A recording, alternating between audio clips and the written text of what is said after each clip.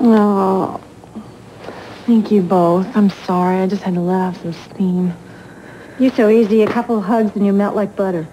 I know, you're right. all right, all right, all right, come on. You have something old, you have something new, something borrowed. I'm going to give you this. Oh, oh that's nice. Do you have something blue?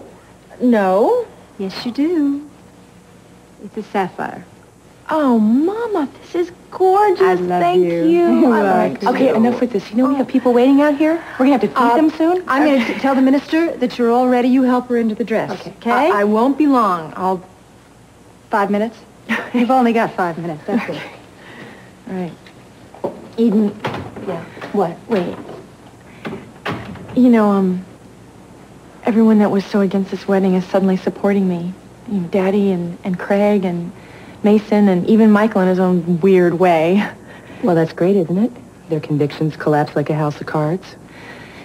I, I feel better. I feel less hesitant. Well, I think you could chalk this up to pre-wedding jitters. What do you think? I think you're right. Yeah. Let me put that dress on. Okay. Okay.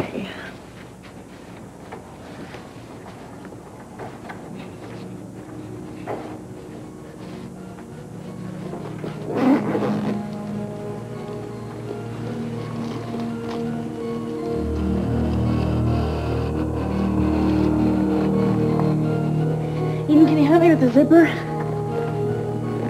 Yeah. Okay. Uh-oh.